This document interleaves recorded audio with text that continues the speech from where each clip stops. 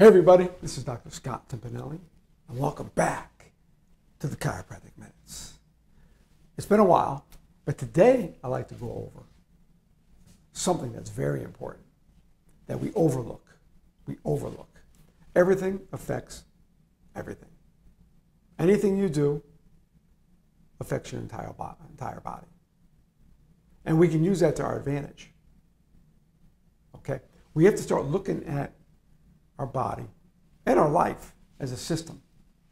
As a matter of fact, our body is composed of 11 systems, and I'm not going to go over those completely. The respiratory system, the digestive system, the urinary system, the reproductive system, okay, the skeletal system, the muscular system.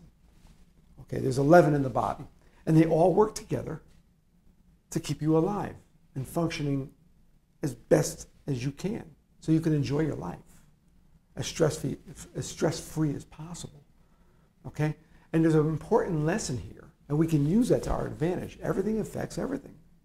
I'm an expert at one thing in my office, and that's adjusting people on that table back there, checking people and adjusting.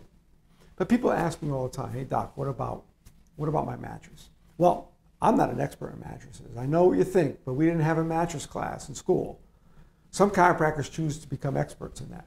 I'm not, but one thing I will tell you, it matters.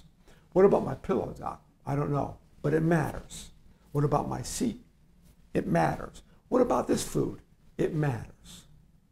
Everything matters. What about if I exercise two or three times a week instead of once? It matters. Everything counts, and we can use that to our advantage. To our advantage because everything affects everything. So when we make a positive move in one of our areas of the body, no matter, no matter what it is, we make a, a positive contribution to our health or whatever we're doing, we help every other body system work better. I can't measure that. It's usually imperceptible. But it's a law. Everything affects everything. Okay? So when you make a positive change to one body system, it affects all of them. And this is one of the things you have to be careful with medicine. And I'm not a medical doctor, and I'm not a medical medicine expert. But when you take that Advil, and I've taken a few in my life, you're just not helping the headache, but every part, that Advil's going everywhere. You have to realize that. So we can use this in a positive way. It's the same thing with chiropractic. I exclusively do one thing in here, and I do it very well on that table. People come in and get their spine checked. I check it for misalignments called subluxations, which are in all my videos. And we make that adjustment.